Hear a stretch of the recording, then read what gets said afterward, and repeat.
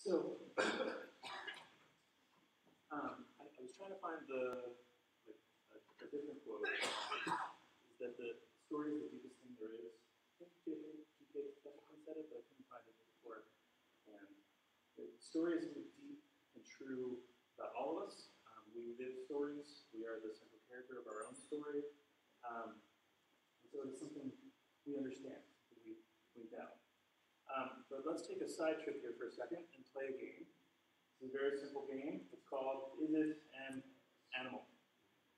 It's just, it's how, like it sounds. I'm going to show you a picture. You tell me if it's an animal or not. Make sense, everybody? Okay. All right. First option. Yes. Good. Now, Yes. also correct. No. Good. I almost heard some yeses. All right. Here we go. Yes. You got it. No. Perfect. Unless it's a robot, it's still maybe not an animal. Yes. Okay. Yes. Correct. Okay. Good job. But it's awesome. Yes. Yes, he is an animal. That is correct. Yes. Very cute one at that. No. Yes. Yes. Ah, good cute, yes. Not a bear, but it is a person. There we go. So, just like we can see what is an animal and what isn't an animal, we know story. Um, we can uh, look at something and say, is it a story? Uh, stories come in all shapes and all sizes. They come in all colors. They come with fur and claws and uh, robots and wizards and everyday people. Um, but we can spot stories too. We can see them. We know what they are. We have a fundamental feeling. Even if there are some on the outskirts that might get wrong, we have a good understanding of what stories are, what they look like. And there's, it's even been said, um, not just by Willa Cather, but that there are only eight or ten stories overall, total, in the world. There are only eight or ten stories, and they're just told again and again in different ways, with different examples and different understanding. So, a lot of what this boils down to is what's called the hero's journey. This is uh, initially done by Joseph Campbell, who's the author of Hero of a Thousand Faces. We'll be looking at a slight variation of that, um, Christopher Vogler's uh, The Writer's Journey. But I think talking about the hero's journey, it begs the question, am I just talking about dudes? I am talking about dudes, but not just dudes. We're talking about pretty much the protagonist, whoever it might be. Could be male, female, might not even be human. There's just about anything could be the protagonist or the main character of a story. So when I say hero, that's what I mean. Um, and one thing that's also particularly important here is that Hollywood has really embraced this hero's journey. Almost every popular movie that you have ever seen uses the hero's journey as the structural backbone of the movie. So, sorry. Uh, first of all, um, when I think of the hero's journey, who doesn't think of the 2004 classic Mean Girls? So what I'm going to end up doing is going through two different movies, talk about their basic plot and structure, and then we'll see how the hero's journey applies to them. So for instance, Mean Girls starts out with our hero, Cady Heron. She is born of anthropologist parents um, and grew up mostly homeschooled in Africa. And she's coming to the wilds of US of the US for high school, which is a wild, crazy place. Initially, she meets Janis and Damian, who are sort of outcasts, um, not the popular crowd, um, and befriends them. But for reasons of superficiality and things that are high school, she is sort of pulled into the orbit of the plastics, who are the popular girls. Now, at Janis's behest, Cady sort of ends up infiltrating the plastics on this secret mission to sort of um, show that they are just vacuous, not that interesting. Uh, working with Janis, she attempts to take down Regina, the queen bee, played by Rachel McAdams. And um, most of the plans backfire and only reinforce Regina's popularity, pretty common in a lot of stories. Um, but Cady becomes more and more like the plastics as she sort of continues to infiltrate them. Ends up really straining her relationship with Janis and Damian. Eventually, Cady succeeds in taking Regina down, but Regina's revenge is to publish the Burn book, which is uh, written originally by the plastics, but which Cady contributed. Um, and it calls out every girl in the school and says pretty much nasty things about them. Um, eventually, Cady sort of takes responsibility for her role in the Burn book and joins the mathletes. Woo, woo. Um, I was an athlete, yes. Um, and then ends up helping them win the championship or the, the tournament they're in. Finally, it culminates in a scene that's going to sound cheesy when I say it, but it's tear-inducing when you watch it, um, where Cady is still elected Fling Queen and repairs her relationships by taking the crown, breaking it in pieces, and throwing it to different girls in the audience and affirming them. We're about now. But it's, it's a great story. There's redemption and wonderness. She also eventually gets the boy, um, wins over the boy, and dates Aaron Samuels, who had been Regina's boyfriend. All right, now, now that we've gone through Mean Girls, what could possibly be the best complement for this? Star Wars. So Star Wars A New Hope, I'm sure many of you have seen it, but it starts with Leia, Princess Leia, hiding plans in R2-D2 for the Death Star. The Death Star is a giant space station that is capable of destroying planets and about to kill things, good old Vader style. Um, Luke Skywalker is a average teen on the backwater planet of Tatooine. Um, and R2-D2, when uh, Leia hid the plans on R2-D2, she ended up sending them to Tatooine because that was the closest planet. Luke's uncle ends up buying R2-D2 from some traders. R2-D2, sneaky little bot that he is, shows Luke part of a message and sort of gets Luke interested. Um, this then leads to Luke meeting Obi-Wan Kenobi. And uh, then they head to Mos Eisley to take the plans back to Alderaan um, so that the plans can then be looked at and weaknesses. They hire Han Solo and Chewie, Chewbacca, to uh, take them to Alderaan. Unfortunately, once they get there, the planet has already been exploded by the Death Star. Um, so there's not a lot that they can do. Next, uh, so once they get to the area of the Death Star, or the area of Alderaan, the Death Star's there, Death Star pulls them in with a tractor beam, and they are captured. Once there, they realize uh, that Princess Leia is also captured on the Death Star, and they then seek to save her, and also turn off the tractor beam, which is keeping them at the station.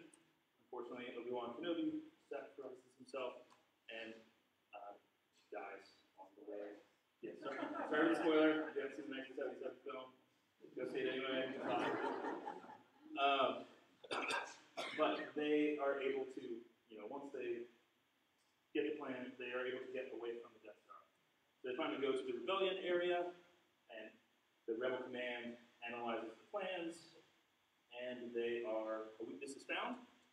They send out a mission to, or excuse me, Luke becomes a pilot and is able to uh, join the mission to destroy the Death Star, and they all fly off in awesome X-wings. Um, it's a pretty pitched battle between the Empire the rebels. And Luke uh, eventually, contrary to what his you know, Han would agree with or whatever, uses the Force to shoot the missiles directly into the little hole thing. I never understood quite how they go. It's like a right angle. Anyway, um, Force. Sorry. How did I not know that? Um, so he shoots the thing, explodes the Death Star, and everyone rejoices. So. Okay. So clearly, these are two stories that are about different things, but they're kind of the same story. Um, Luke is a young teenager given new powers, figuring out how to deal with them and how to then take down the evil empire. Lindsay Lohan or uh, Cady Heron is a young person given new powers, tries to take down the evil empire of the. So, in general, they, they share a lot of the same sort of storyline and flow. Okay. So this brings us back to the hero's journey. So what does this look like? Um, I'm going to go through it quickly, and then I'm going to go through each step and just talk about what they are. Um, it's also important to note that sometimes these will flip or merge. There will be sometimes one that's missing, but most stories will contain um, an element of all of these. Um, it can also apply to anything, including zombie dealing with discontent, hint for the future. Um, and as we talk about this journey, you might want to think about your own favorite movie and how it might apply or not to this hero's journey. All right, so first of all, We have the ordinary world. Next comes the call to adventure. Then we have refusal of the call, meeting of the mentor, crossing the threshold, tests, allies, and enemies, approach to the inmost cave, ordeal, reward or seeking sword, the road back, resurrection, and return of the elixir. So you all now understand that, right? All these words make sense? You can nod, but I don't think you do. Anyway, it's okay. Maybe you're just awesome. All right, so first of all, um, in the ordinary world, this is the, the land that exists before you get into the story. There's also sort of two worlds that we'll be talking about. One is the ordinary world, which is where everything starts and where everything ends. Then there's sort of a special world, which is where they move to in the midst of the story. So in A New Hope, this is Luke working on his uncle's farm, and it's Cady before she goes to high school. Next, we have the call to adventure. R2D2 shows Luke a portion of Princess Leia's message. Um, it's also sometimes called the inciting incident, or what happens to sort of draw them into the story, um, make them interested in doing the story. And this is Cady uh, being asked to spy on the plastics. Next, we have the refusal the call. Now, with Star Wars in particular, this ends up mixing with uh, the, the next one meeting the mentor. But it's Luke refusing to do anything but the bare minimum to help Obi-Wan. Initially, he just wants to be like, I don't want to deal with this. You go do your thing. I'm going to stay here at Tatooine and get some power converters or something. Um, and for Cady, this is her sort of being unsure about whether spying on plastics is a good idea, whether this is going to be healthy or helpful for her. Next, we have meeting the mentor. For Luke, is meeting Obi-Wan. For Cady, um, you could either, there's some discussion about this, it could be Mrs. Norbury, who's Tina Fey's character in the movie, but you could also see the mentor as being Jax. So sometimes there are also different ways of interpreting hero's journey uh, throughout a story. Uh, next is crossing the threshold. This is the move from the ordinary world to what's called the special world. Um, this is when Luke goes with Obi-Wan to Mos Eisley and hires Han Solo. Um, for Cady, this is when uh, the mission to infiltrate, she accepts the mission to infiltrate the plastics and begins to eat lunch with them and hang out with them. Next, next, next, we have uh, test allies and enemies. This is when they sort of meet people along the way, start to begin to understand this new and special world and how they interact with it. Um, for Luke, this is hiring Han and Chewie to help them um, and fighting their way out of Mos Eisley. For Cady, this is her attempt to take Regina's body, friends, and love interest, um, even though everything backfires for her. Approach to the Inmost Cave is really just about sort of preparing for the ordeal, of the piece that comes next. So you're approaching this sort of biggest issue, biggest deal. Um, this is when Luke gets to the Death Star, and this is when Cady finally succeeds in sabotaging Regina. The next thing,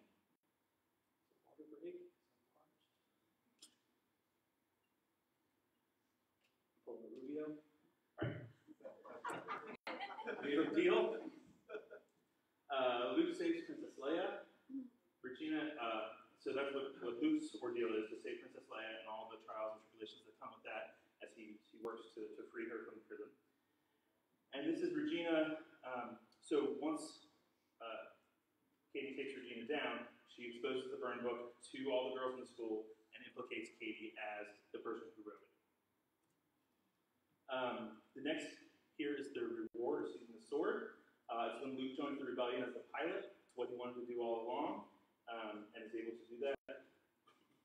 And Cady takes responsibility and rejoins the Macleans and wins the tournament. Yay, Macleans. Next, we have the road back. This is when, so we have completed our time in the special world. We have learned new things. We are better people. Um, and the road back is our beginning to move back to the ordinary world. Um, this is when Luke works with Rebellion to return to time before the Empire. He was working with them to try to take the Empire down and destroy them. And then this for Cady is when she's making reparations and trying to win back uh, her relationship with uh, and Damian. Uh, the resurrection is sort of a time when um, you have this new knowledge and it's sort of uh, becoming who you are. I think the Morpheus quote in um, The Matrix where he's beginning to believe as he knows who he is now. Um, so for Luke, this is forcing, uh, excuse me, using the Force and destroying the Death Star and making things go at right angles. Um, and for Cady, it's breaking the spring flame crown and sharing with the other girls and sort of having that resurrection moment of she's not the horrible person that she became. Finally, we return with the elixir. For Luke, this is the award ceremony. For Cady, it's a new normal with Aaron. And just the elixir just sort of means could be the information or the knowledge that they're returning with to the ordinary world. It could be a physical object um, sometimes as well for our zombie bob. It's an iron bunker. Um, but you're probably asking yourself, what's this got to do with websites? Why should you care? First of all, um, we remember story. Uh, my pastor has said that um, anytime he reuses an anecdote in a sermon, people give him grief. They're like, oh, you said that already before. But if he uses the same verse or the same platitude or whatever, you know, no one cares. But they remember the story that he told to illustrate it. Um, and if you think of your favorite advertisement, um, nine out of ten times it's probably going to be some type of story based. Could be a joke, could be um, an actual story. But most of the time, there's some sort of story that sort of makes it stick in your mind. It's not a bunch of facts and figures. And the other thing that I think is important to think about here is that we are all investing in story. So, how many of you in the last week have watched a movie? Read a book? Watched TV? Netflix binged for far longer than you should have? Uh, played a video game or any other type of game? All of these are story based. Um, well, books might not be, but most books are novels, etc. Um, and you are investing time and money in story. You are already doing this. So your customer probably is too. Um, and we are also aware of the subconscious rhythms and structure of story, as we were able to figure out with the animals. Um, and stories tend to resonate. We tend to, to know more about something, understand something better when it's told to us through a story. So you're asking yourself, should you turn your website into a literal story? Is that what I'm advocating? Maybe. Um, if you well, yes. But the thing is, stories are really, really hard. And uh, most of the time, boring is going to beat cheesy every day. Uh, so be careful. that said, uh, so the talk's over now. No. Um, uh, what, there are other options. There are other ways that we can think about this. So, for instance, um, you can think of this a customer journey. How does a customer approach your website um, and your information? How do they interact with it um, to have a customer journey? So, I'm going to go through the customer journey here. Uh, first, we have the ordinary world, where the customer is uh, pre-purchased, they haven't done anything yet. Um, next, they're going to try to, uh, there's a call to adventure. Uh, they have a problem that they want to solve. Um, there's a refusal of the call, sort of a gag reflex. This thing's too expensive, um, it won't fit, I don't know about this thing. Oops. Okay. Um, next, they'll meet the mentor. This could be your website in itself. It could be um, another person that they know that has used your services before, testimonials or those sorts of things, or ways that we can meet the mentor and help them through. Crossing the threshold, they decide that it could work. This could be something that will solve my problem. Um, they're going to deal with test allies and enemies. You know, will this? I think this will work, but will it? Can I find the budget to buy it? Um, can I get approval of everybody who needs to approve it to make this happen? Um, the inmost cave, they sort of decide that this will work and that they want to move forward with it. And um, they're preparing for the ordeal. They're getting gathering materials, getting ready, all these sorts of things. And then the ordeal. Um, and this is just having to convince someone else to get approval. This could be themselves. It could be boss, a spouse, a parent, someone else in particular. They have to. The ordeal is then having to figure out how to explain this to someone so that they understand it, or that the other person understands. it. Next, we have the reward of receiving the sword. They have their approval, they load up your website and make their purchase. Um, the road back, you know, they've made this awesome choice. They're doing so awesome, um, and they get high fives from the rest of the crew as they go back to their cubicle and or ordinary world. Um, the customer's different now. They have new knowledge and understanding of this particular uh, purchase and this particular solution, and they're going to make it awesome. And then the return with the elixir is returning to all the their friends and family and colleagues with the product and the new knowledge and the problem being solved. All right, so again, what is this? How is this gonna help you? I think the biggest thing is it's gonna change perspective. It helps you change. Um, rather than being the person behind the website, being like, what's going on, what you doing, what you think, um, you can then sort of change yourself to be in front of the website and understand better what they're doing and how they're interacting with things. Um, and there's a couple different ways I'd like to talk about how that works. Uh, first of all, it's a journey, so you want to play the long game. Trials will come. We're going to give out magic swords. I don't have any here, but if you have one, I'd love one. Um, you are not the hero. Uh, no one is average. You're going to celebrate the win, and the purchase is not the end. So, the long game. It's important to know that stories take time. You know, it takes two hours to watch a movie. Um, it takes time to read a book. It takes time to move through these different um, pieces of content and pieces of understanding the story. Um, and often they require adversity to change the protagonist. If everything goes well for the, the person, it's not a story, it's like a boring, I don't know, Weekly. Um, no offense. Uh, um, this is also part of why existing customers are easiest to, um, to sell to because they've already bought into your story. They already know what's going on, they already have a feeling for it. They have already succeeded um, with your product or uh, service. And a lot of it is also building trust with your customers um, and taking, taking steps to ensure long-term loyalty. So the quick wins are not going to be ways that you keep long-term. Um, an example of this is, I got this from InVision uh, yesterday in my inbox, I think it was yesterday. And uh, this lead article about, about Questlove, shout out to Questlove. Um, you know, you click through, and I did a search for InVision. I did not see the word, besides the URL of InVision app, the word InVision is not in that page.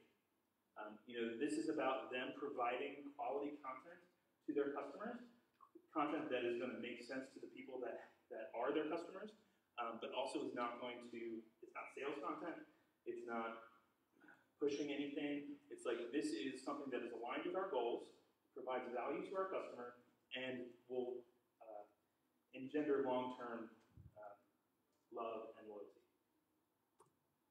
Trials will come. Um, customers are going to be facing a lot of stuff, a lot of stuff that you probably have no idea about, um, and many of which is be outside of your control. First of all, of course, remove any friction that's in your, your own process when you can, but there's going to be stuff that you can't remove. For instance, found this quote the other day. Um, you have no idea what, what they're dealing with as far as the, the employees that they have, what they might be stealing or not, um, and how they're interacting with people.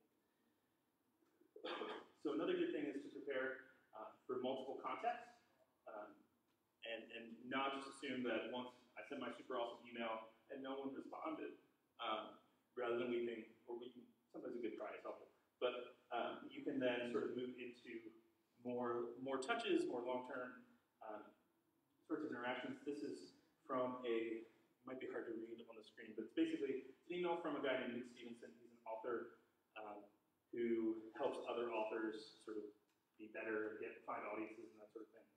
Um, and what he does, um, so this is a, just a quick reminder. He's like, hey, we're doing this thing. You haven't responded yet. We'd love for you to be there. Here's information about, you know, if you saved your spot, you're awesome. Thank you. Click this link if you haven't. Um, if you've already registered, and at the bottom, he's like providing extra value, like we answer any questions that you might have, whatever you might want to do. And then one course that I taught, that I um, watched Nick, he does a lot of uh, video courses. Um, he talks about how he had like these, it was six different times when people could, could buy or interact with his, his stuff. Started out with a, you can get an ebook, then there was a video, a first video, a second video, a third video, a webinar, and then like a high touch, asking anything sort of thing. And 30%, 33% of the sales, a third of the sales were with the fifth touch. You know, it was the, so if we send out that one email and I'm having a bad day and I don't get it, or I ignore it because I've got 30,000 other emails, um, it may not be that I just don't want your service. If I didn't want it, I probably wouldn't subscribe. Um, it might be more that you just need to do reminders, but also add value when you do that. Don't just be like, hey, hey, hey, hey, come on. Um, but add value. When he was doing this, he had three different videos, an ebook, a webinar, all these sorts of things to provide greater interaction. You also want to give out magic swords. Um, your customers are going to face an ordeal. That, that happens. They're gonna, they're gonna have to. Um, they're gonna be prepared to, uh, they need to be prepared to face, um, you know, getting their boss to be on board, etc. So this is another thing from Nick. Um, this is his website for his first 10,000 10,000 readers. Um, and there's a lot of things in here that sort of equips the person to, um, to get rid of their feeling, their feels, their fears, give them the feels, um, get rid of their fears. There's a lot of social proof. Um, you have uh, the exact system that he used to grow his business. Um, you have timelines. You have under the, the video, it's probably hard to see, but he says, you know, join 25,000 plus other authors. Your contact details will be kept private. You know, it's allaying fears, providing social proof, giving them reasons to say yes. He also um, knows that a lot of authors feel really terrible about, about marketing. They feel like they're being sleazy, um, not doing it right, pushing people to buy their stuff. Um, so he also includes at the bottom there, you know, how to sell without being sleazy, how to make this work for you. Next thing that I think is really important is that you are not the hero of the story. That's interesting.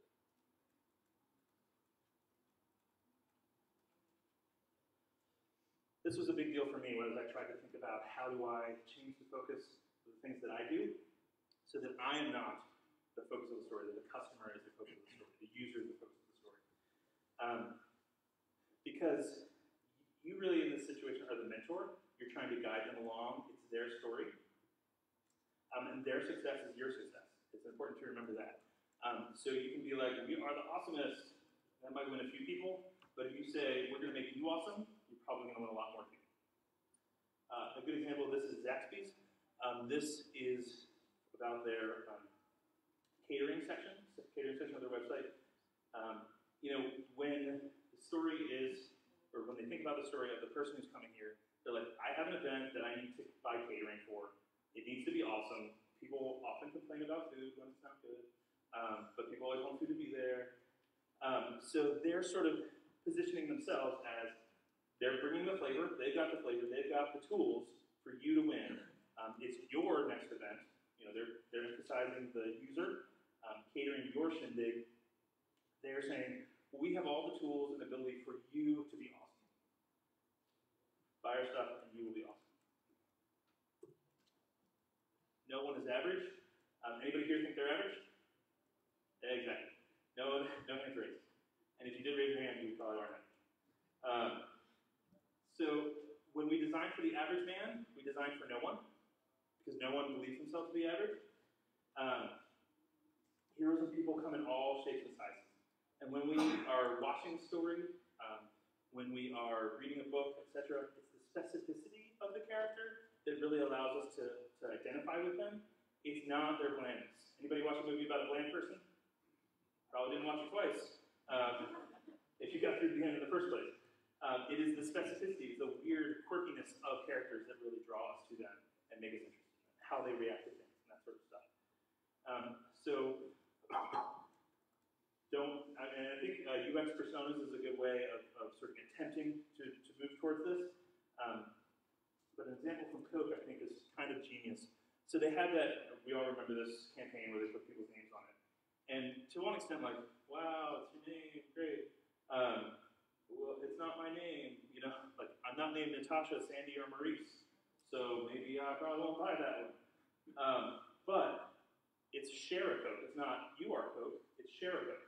I know a Natasha, I, know a Sandy, and I know a Maurice. Um, so I might, for novelty, buy it and give it to them, or share it with them, etc. There's a woman I know um, whose name is Monica. She still has this Coke on her desk. Share Coke. Um, but making it about sharing really um, both narrowed it, but also expanded. it. You also want to celebrate the win. Um, their success is your success. Um, as the mentor, you know, it's, it's their victory that you're going. A good example of this is from MailChimp. So I don't know if you've scheduled a, a thing with MailChimp, but at the end, they rock on. Um, Freddie gives you the rock on symbol. It's this short animation, it's just the guy going like this. Um, creating a mail campaign stinks. Like it's there's so much work to it. You have to like get all text right, images, and get it designed right, and find your list, and segment it properly, and do all these sorts of things for success. Figure is going to be, and whether people are going to open it, and how you do all these sorts of things. By the end of setting up an email campaign, I just want to close things and never go and go home. But with this little rock on email, I'm like, yes, Rockwell, let's do another one. You know, like it's really sad, I guess, that I feel that way. Uh, you know, make a little monkey dance, and I'm good. Uh, but it's sort of energizing them to celebrate their victory, and their whole goal is that you will do more email campaigns. So are not only um, celebrating your victory, they are encouraging you to then do what they want you to do. Last thing here is that purchase is not the finish line. Um, Hollywood loves a good sequel. They also also love a bad sequel. Um, and so the finish line, um, if you make the purchase the finish line, you will not have long-term uh, long-term loyalty. Uh, often when you return with the Elixir, it starts a new chapter, um, so you don't want to drop the customer there. Squarespace, I don't know if you can even read that, but Squarespace, when you sign up, sends this email. Um, it's like, we are here to help. So you've just purchased, you are good to go, you're getting ready to do your Squarespace site. Um, and they send this email with five people that may or may not work there, or may or may not still work there, um, with just information about uh, their support.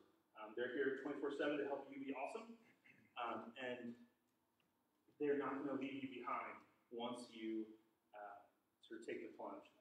Um, I was talking with a guy yesterday. uh, We both work at universities, and we feel like the marketing department has decided that um, once you're here, we don't care about you.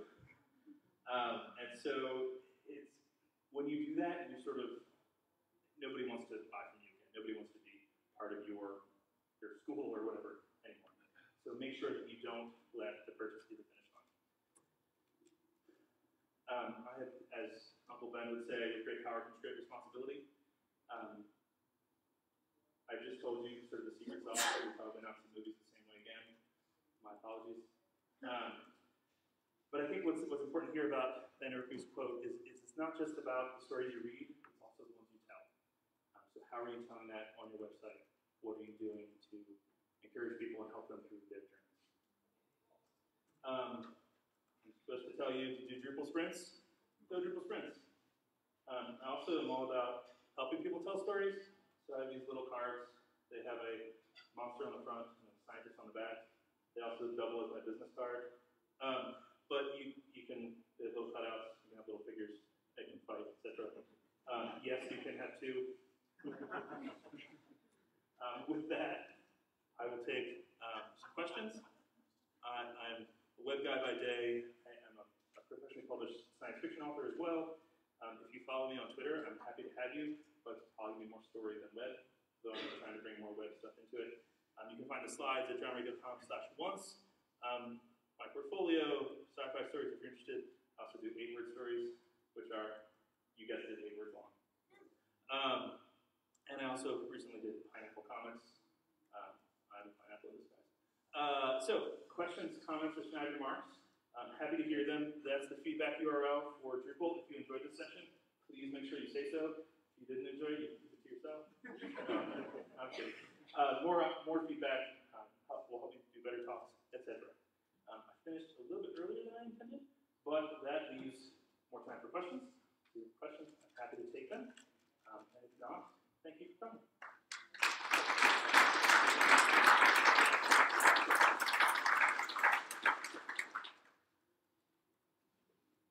Yes. Can you explain the ordeal again? Okay. I'm going to repeat the question for those listening. Uh, the request was to uh, explain the ordeal. So the ordeal is the main conflict of the story. It's where, um, for uh, Star Wars, it's where Luke Skywalker um, has to sort of figure out how to save Princess Leia. He's a farm boy. He's never done anything like this before. When he was in the cantina in Mos Eisley, he uh, basically would have died if uh, Obi-Wan wasn't there. So he's sort of uh, buying into the fact that he is um, this new person. He's the hero, um, and trying to save her to, to release her from the uh, to release her from uh, the thing, the, the, the prison. And so it, it's all about, um, usually the central conflict, often it is fighting the villain. Um, you will see this a lot in movies, or um, when Cady sort of takes down Regina, and then the ordeal she ends up dealing with is um, the whole school hates her because um, she's implicated in this burn book. Uh, and so how she deals with that. So the ordeal is, is, is the central conflict, um, often fighting the villain, but um, so does that help? Yeah, thank you. So a lot of the things that you spoke about really resonated, that they make sense, but I had no idea how to put this into practice. So let's say that you have a, a candy store. Yeah. And they have a location, and you come in and you buy candy and you leave, they wanna sell their candy online. How on earth would you implement all of, or any of these things into like an actual commerce? Um, crap, that was afraid someone was going to ask that. Um, um, so a lot of it would be you think about who your customer is. So what is their journey? Um, so maybe you cater to children because children love candy. I have five children; they love candy. Um, Um, so so maybe your your main audience is children. Um, so you think, well, selling online might not be the right choice for children because there's a whole lot of implications there. But maybe you are going to target online the parents who um, want candy for their children on a Halloween time. Um, so you think about sort of what what is the the how are the audience um, going to approach this candy store? Um, so so you've gotten them there. Let's let's say that you've gotten them there. How do they then interact with the website in order to buy this candy? So you would probably um, I'm spitballing here. Um, so parents need to buy candy for their children. Um, you'd want to say, I mean, certainly you're not going to do healthy reasons to buy candy, but you might say like, this is kids love this candy. Um, this is particularly um, good candy that um, so, so you would you would be thinking about how you can solve that parent's problem um, and using the sort of, sort of what's the ordeal that they're dealing with. Is the ordeal the, the, the before they buy? What's the ordeal? Um, is it that they are not sure that you're a safe company? You're, you're local, but they're somewhere in California. So how do you ensure that they have the um, information they need to think that you're a safe company to buy from? Maybe that's an HTTPS certificate or whatever. Maybe that is um, testimonials from people that are not local. Um, maybe that is uh, a bunch of different things that sort of help them feel comfortable buying that that um, that thing, and then sort of keeping up with them as they go. So they've made the purchase. Um, what do you do then? Well, they're not going to walk into your store because they're from California. Um, so how do you then keep them engaged? So maybe you do that with an email campaign of we have this awesome, maybe it's an awesome um, deal, etc. Um, I'm kind of floundering. Does that does that help make sense? Okay. Think of how Snickers did, uh, you know, angry commercials where people are hungry, they don't need a meal. Those kind of scenarios are The, the crowd helping out with the Hangry campaign from uh, Snickers. Thank you, sir. I just want to say that this was one of the most compelling presentations I've been to yet, so you did a great job. Um, but you. I also, work in higher ed, just like you. Was it? I work in higher ed, just like. Okay, yeah. And uh, my role is both IT and marketing for my unit, and so I just wanted to hear you talk a little bit more about your ideas and strategies for working in both sectors in academia. Um, okay. So, academia. academia. Um, so a lot of it is thinking about um, the student story. Um, you know, what are students coming to your university for? Um, and maybe what do their parents think they're coming to your university for? Those might be different things. Um, how do you sort of um, work to so the, the most for undergrad, for instance, parents are going to be the ones paying, uh, almost certainly, or um, they're probably the ones that you need to to, to speak to. So. Um, so a lot of it is sort of allaying their fears. Will my will my child be safe? Um, I work at UVA, and we've had quite some, some interesting things happening in the news as of late. Um, unfortunately, so so there's lots of questions. How do we ensure that, that students will be safe when they're here? How do we ensure that, that people are getting their money's worth?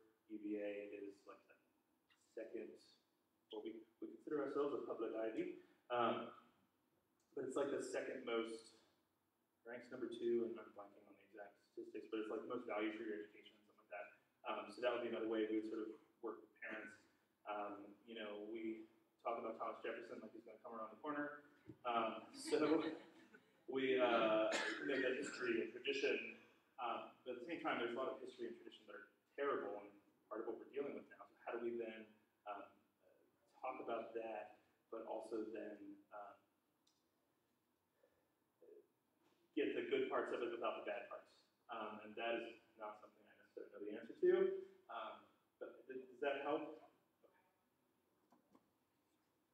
We can make a line if you guys want. Hey, sorry, uh, my name is. I, also work in kind of like an IT um, slash client engagement uh, role at my university as well. And uh, especially in a lot of the work that I've been feel like a lot of what you were kind of talking about here has been really applicable to, to what I've been doing because um, we have, we, our IT support group just paid our webmaster's office and finally brought it in. Um, so we've had a lot of growing pains on uh, you know, how to kind of uh, deliver our content and deliver it in ways that people want to see it. And um, with the question that was asked before about like how to apply this sort of thing, I, I, I in viewing it within the scope of my own work, um, I really see this less of like a methodology of, of how to implement design and things like that, and really is more of like a visualization tool for how to um, uh, kind of put yourself in the mindset of your customers. Uh, in, in my case, a lot of my customers, we, we support retirees, we support active faculty, staff, and students. Um, all of these kinds of things have required me to think about, okay, from beginning to end, what are my what are my clients coming in here to do? Um, at any given stage in the process, is is there going to be a point in my materials that I'm laying out on my website where I've, I've lost them. At what point uh, have I lost my point of engagement? And I, I think that by, by just taking the, the moment to, to break this down in terms of, you know, in this case, the, the hero's Yeah. journey, it's, it's a really good way to put yourself in, in their shoes just long enough to say, oh, I did just lose myself right here. So um, I, I don't know if that that, that helps me view it. Um, I don't know if that helps anyone else. Thank you for answering your question. Oh, you're serious? Oh, But, uh, I'm sorry. I didn't think there was a question there, so I. Uh, So I don't know how familiar you are with uh, the agile, agile process. A little bit. A little bit. So there's something called uh, user stories, and a lot of this made me think think of that. So I'm just kind of, I guess, knowing what you know about it. How, how do you think? Um, I, I I could see this applying to to user stories if you're kind of in an agile. So where I work, we don't really have user stories. It's just kind of one big story. But I mean, I think it's more of a comment than a question, but I think you could really apply that to that process and. Yeah, really, the, the hero's journey applies in so many different ways. Um, I'm always finding new ways that I can apply it to different things, and how it's just sort of this process. This, this, this is how we understand life in, in many ways. This sort of hero's journey. And so, how do we we can apply it into agile into stories? We can apply it to websites. We can apply it to, to a lot of different things. Yes, thank you. Um, first of all, thank you for your talk. I thought it was very inspirational. Um, I run a website where a large section of it is called the Learning Center, and basically it's a collection of how-to articles Mm-hmm. uh, on addressing every aspect of maintaining as well as um, you know possibly purchasing more, basically every facet of the product that I'm selling. And I'm kind of wondering how uh, storytelling would be applicable to something like the Learning Center. Would, would a tangible methodology be to write articles from a perspective of like a storytelling perspective, or how would how would what you've discussed apply to you know a, a how to kind of. Sure. Yeah. Yeah, no, I think there's a lot of implications. I think you could do it in storytelling format. Um, I, I actually am working on some of that myself, uh, with some web stuff. But, um, I think one of the, the, the cool things you could do is sort of uh, treat the, um, the users, you know, as they're trying to learn this stuff, treat that as a hero's journey. So what are they, what is their ordeal?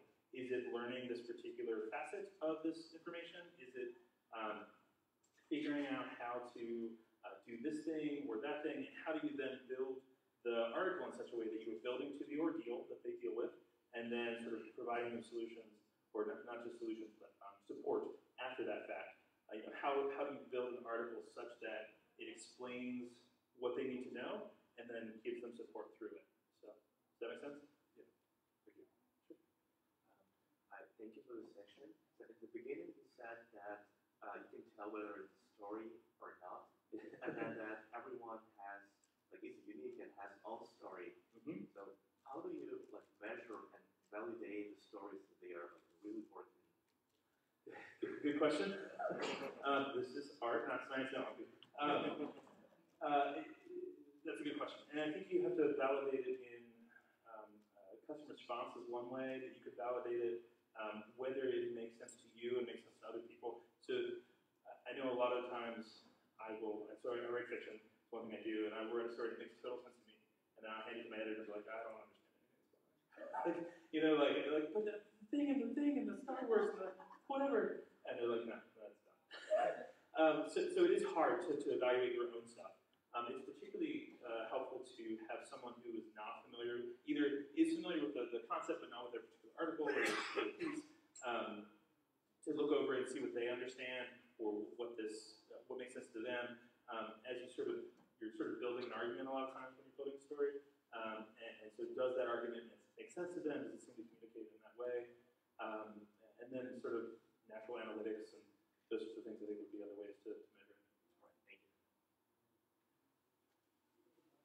I, I was just wondering if you have any advice or tips on how you get content experts that are very fact-based.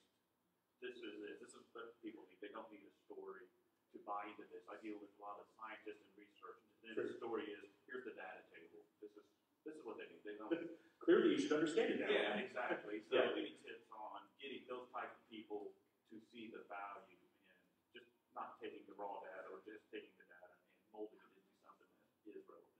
Yeah, no, that's a very good question. I deal a lot with faculty, and they are very smart people who do not know how to talk to people that are not smart. Um, and um, so, so I, I would think that if they can think about it, um, uh, I, I don't know if these are faculty or just uh, scientists, but they can think about it sort of uh, how would they approach a novice, um, and how do you then sort of bring that person up to their information? You know, like you have to have this base knowledge to be able to understand this this content. So how do you uh, how does the, the person then write it in such a way to sort of build that knowledge in, sorry, so that they can then um, reach the ordeal, get through the, the, the information, understand it better. Thank you. Hello. So I also work in higher ed. as Oh, there's a lot of us here. Yeah. Um, so one of the websites I work on is geared towards student experience. So Mhm. it's that sequel story, like the story beyond the purchase. But of course, everybody else is focused on prospective students and uh, telling stories to them. So how do you, do you have any tips, uh, tricks or tips about getting buy-in for how convincing people that that second part of the story is important? Well, if I knew that, I'd, I'd making a lot more money. No, um, that, that, that's a good question, and, and I, I have not figured that out at my own university yet. Um, I think a, a lot of it. Um, so, so are you asking more for like administrative buy-in, or are you thinking more student buy-in? Either. I, all right. Well, now that I've made the questions harder for myself. Um, no, so so I think from a student perspective, um, a lot of it's going to be providing resources. All right, so they've already come through that uh, hero's journey of um, getting to the school. There's a whole lot of craziness that happens in particularly for freshmen uh, or first years, as we do call them. Um, uh, getting through that information, and you know, overwhelmed by some of the things. Many of them are away from home. Um, so if you're being able to provide them resources in such a way like you here, that's terrible. Sounds cheesy. Um, boring is better cheesy. Um, so if you're able to sort of uh, provide a way for them to begin to, um, they have an ordeal, they have a concern, there's something that they don't know about. Um, so if you're able to provide uh, solutions for them in, in such a way that they can then um, go through that ordeal, fix that ordeal, figure out how to do uh, their taxes or whatever it might be that they're doing for their first time on their own. Um, why they do their taxes. Anyway, um, uh, getting them over the hump um, might be a way for students. From an administration perspective, I think a lot of it's just it would be like these people like if you alienate these people, they'll leave. You know, if you if you assume that this their story is over, then they're just gonna go somewhere else. They're gonna find another place to do their, their second, second year or sophomore year. Um, and so thinking about it in that holistic way of like the story is not over. There's a sequel. How do we then um, keep them there? Thank you so much. One other thing that I'm also at the university, uh, get in, put your shoes on and go talk to these different units. So we're in the IT world, but also go to admissions groups and talk to them about what their, they see their students doing. Another thing they taught me was about outcomes. They're always talking about outcomes, so parents feel like they really get something in terms of investment. Couple things. First of all, the dan- the dancing guys, very exciting. yeah, I keep like it's like here and here, and so I'm like trying to pay attention. to that question. Um, but I also work for a science facility and, um, and can I answer that that question, of the comments, but Alan Alda's book, If I Actually Do What I Have This Look on My Face, really goes into like using stories to, uh, sell science and using it to be, it's just a very good book. and, Uh, a lot of similar stuff that he said. Well, nice. Thank you. There are no more questions. Thank you all for coming, and I hope to see you around.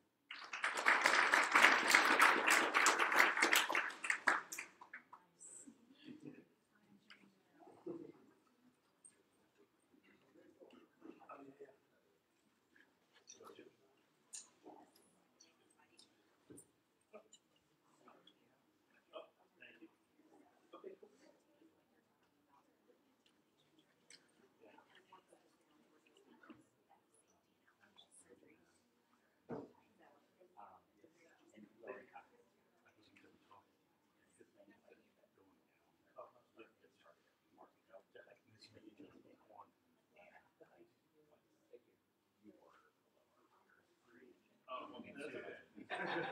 Handing out cards.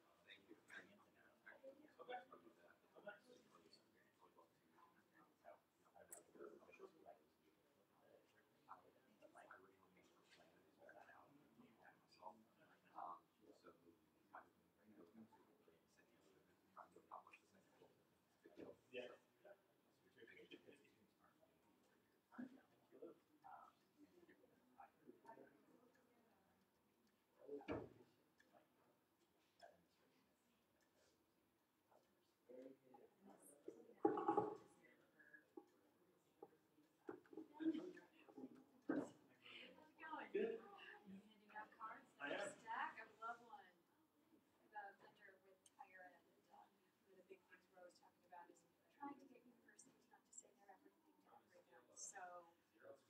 talk about specificity, A-okay.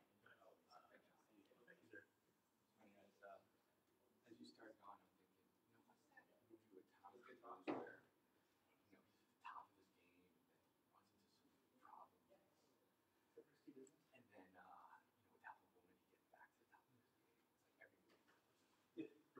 Top Gun, uh, Cocktail, the driving one, uh, the sports, uh, the, the sports agent one. Yeah, yeah. Like the exact same movie, just different.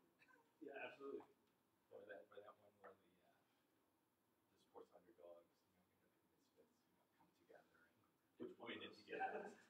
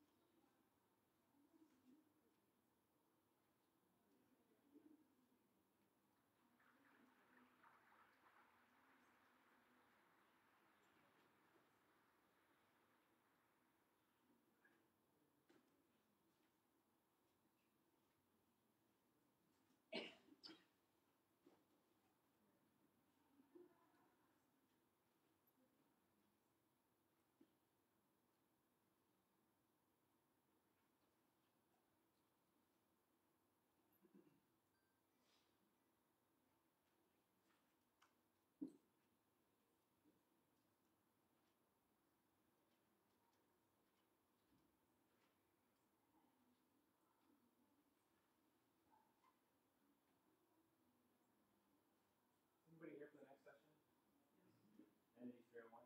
Yeah. yeah. Want to make sure